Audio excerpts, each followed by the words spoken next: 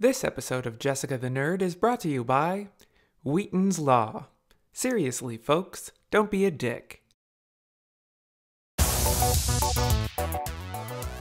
On this episode of Jessica the Nerd, we talk about Valve Software's Steam Machine and the Steam Controller. Let's talk nerdy stuff. Hey everyone, thanks for watching Jessica the Nerd. I'm Jessica, nerd.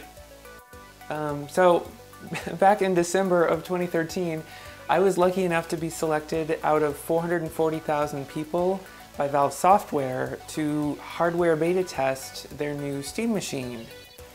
Here it is in all its shiny glory. And look at the shiny lights. Ooh, it's pretty. So anyway, uh, I've had it for a while now, and I've played quite a number of games on it, and my opinion of it is pretty straightforward. It's a gaming PC, just like any other gaming PC. The only thing that's different of it about it is that it's running SteamOS, which is a variant of Linux. Uh, that's about it. If you've played Steam with big picture mode, you've experienced a Steam machine's operating system. I have had some experiences with SteamOS that haven't been ideal. Um, the first one being I have a Samsung TV and um, Steam OS, when it boots up, has a hard time with apparently Samsung TV's screen resolutions. It keeps picking a 4x3 resolution, 1024 by 768, instead of accurately detecting 1080p. And the OS itself has no way for me to change that. Um, this is an issue I've actually reported to Valve, and I know they're working on it. I've talked with their techs and stuff.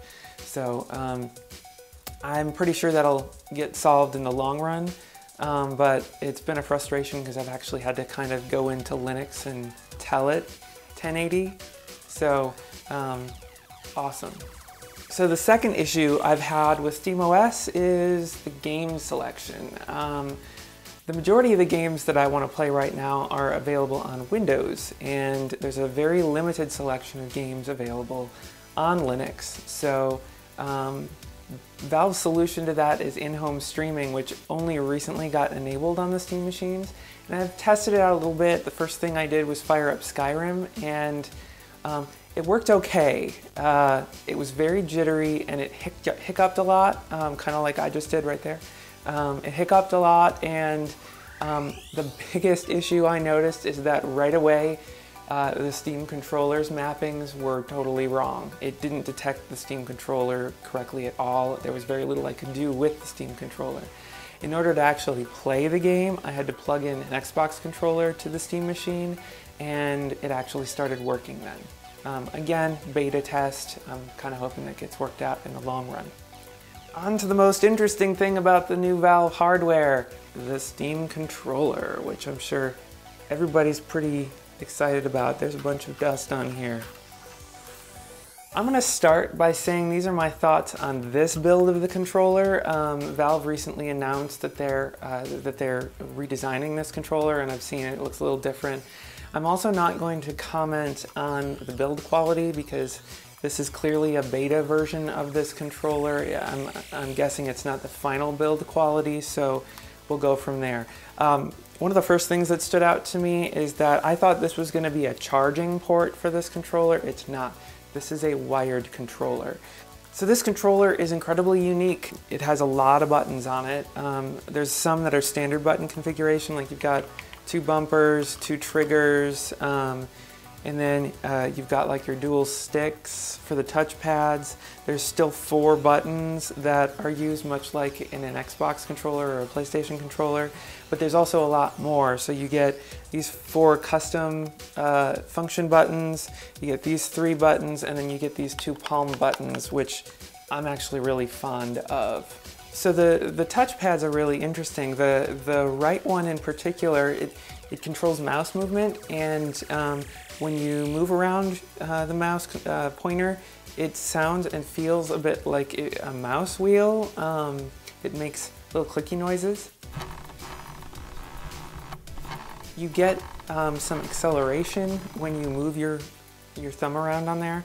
So you can flick uh, in directions um, like you would on a mobile tablet, like an iPad or an Android tablet or something, or a, a phone. So um, you can, it, it really changes the way you, you input your controls when you're playing a game. It's not like when you're on a, uh, an Xbox or a PlayStation controller with analog sticks where um, you push forward and you get that discrete amount of movement. Now you can kind of flick and move around. It, I'm not sure how I feel about it. It's a little imprecise, um, but we'll see how that changes gaming in the future. You can still use it like an analog stick. You can move your your um, finger around on there um, and if you move to the outer ring it'll continue the motion that you were just doing so it works just like an analog stick. Um, the left pad is uh, a little different.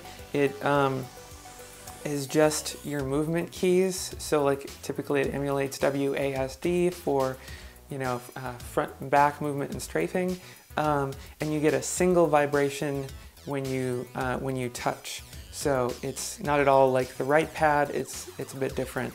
Um, when you use the outer ring on the left pad, typically in game it adds a modifier to it. So like if you, uh, in, in, in a first person shooter game, for example, it'll be shift. So um, you push up and then into the outer ring and you're running forward. And um, so the, this modifier thing is kind of cool and it's kind of not. I'll give you an example. Um, Saints Row 4. If you play Saints Row 4 with an Xbox controller, in order to run, you have to hit the, the left bumper and your directional stick, and that makes you run. And with Saints Row 4, you have superpowers, so you're running really fast around. With the Steam controller, um, you don't have to use the bumper, you just move to the outer ring and you start running. So here's the biggest problem I have with this. When you get into a fighting scenario in just about any game, you're not really paying attention to where your thumb is on the pad. You're just like, I need to move in this direction. I need to move in that direction. You have no idea that, oh, I'm now in the outer ring. You're not paying attention to that. So um, it's easy to suddenly become very disoriented because your character has run all over the place and even outside of battle.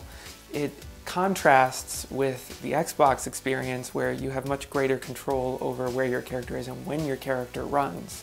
So one thing I really like about the Steam controller, um, or should I say two things, are these two buttons on the bottom. Um, these two buttons are, um, I don't know if you call them palm buttons or what, but uh, they typically are mapped to jump and crouch. And um, that really, really works well in a game like Skyrim or any kind of first person game like Portal. Um, for some reason, it feels really intuitive to just be able to do that with your palm. Um, and uh, I really like the way that it works. I wish all the other controllers would pick up on this and add this to their um, to their controllers because I think it adds a, a, very positive experience in the game. So to contrast that, um, I hate, I hate this layout of the four main action buttons. I just hate it. Um, I don't know if it's just because I'm used to the typical diamond pattern on any other controller or not, but it just doesn't feel right um, when I play the games. One particular problem I had was the Y button, which is the one right here. So the Y button standard uh, binding in-game is tab. You'll notice that that's dangerously close to the outer ring, um, which would be in typically mapped to shift. And um, if anybody who's used Steam before um, has ever paid attention, it says press shift and tab to uh, access the Steam layer when you're playing a game. So um, what'll happen is, oh, I want to bring up the map. I click the, the Y button and oh, I'm looking at Steam because I accidentally fat fingered and I touched the outer ring at the same time. Oops. Happens a lot.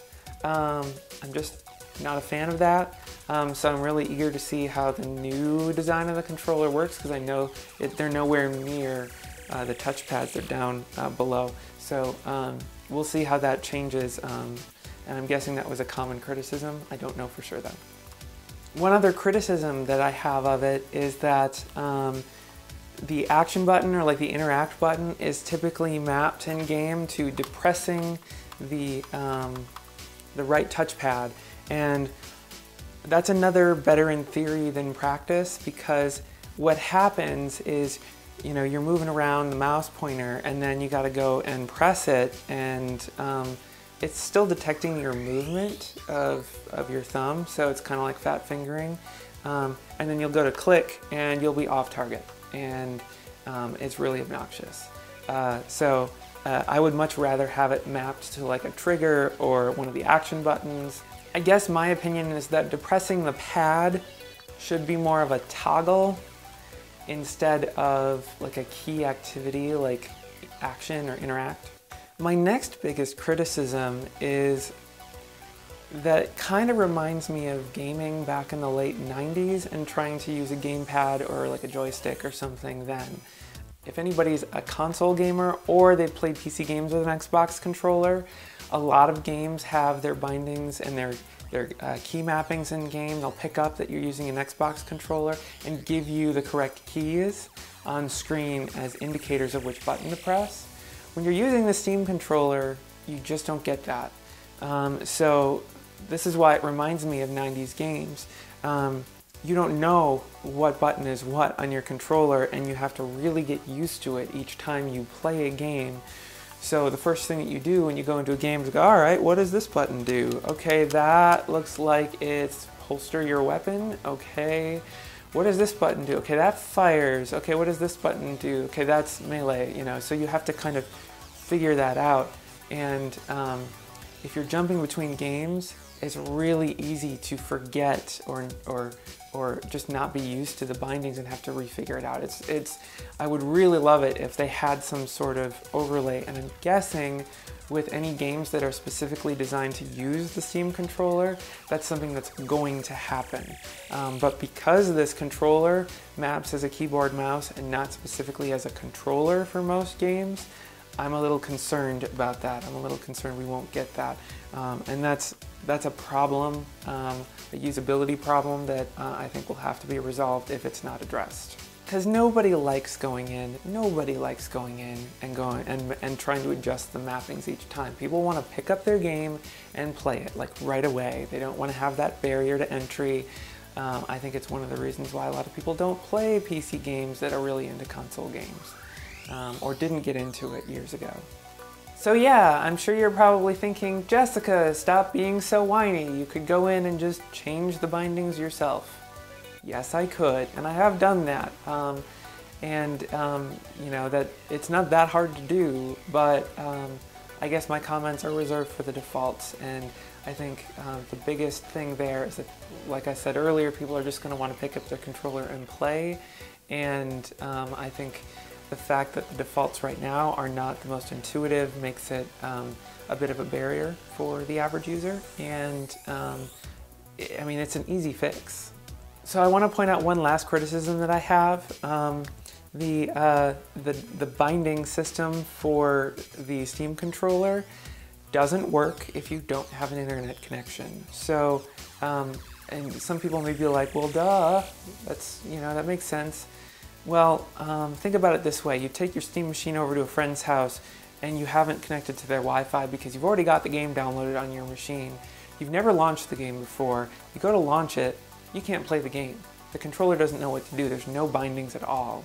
Um, this happened to me um, when uh, I tried to launch a game um, when I was visiting my family and um, the most difficult thing is there's no way to get out of the game once you're in there. If you don't have a keyboard, you can't can't back out. So I actually had to power down the machine and power it back up to actually start working again. Once I was able to connect it to the internet, I was able to get those bindings downloaded and we could play. But, you know, there's no default uh, bindings for any game stored in SteamOS, and I'm hoping that's something that's kind of thought about in the future too. My final verdict of the Steam controller is that it's kind of cool as an experiment, but right now I don't think it's ready for prime time. I think a lot of people are going to ditch the Steam controller for more familiar controls like uh, an Xbox controller or a keyboard and mouse, just because you'll get more precision. Um, I think over time, with more revisions and some care from Valve, the Steam controller will be a much more pleasurable experience to use. Um, but right now, it's just not quite there. So that's my review of the Steam Machine and the Steam Controller. Please let me know what your thoughts are in the comments section below. Next time, we'll be talking about how to teach your cat to yodel in just three easy steps. Thanks for watching. I'm Jessica the Nerd. Live long and prosper.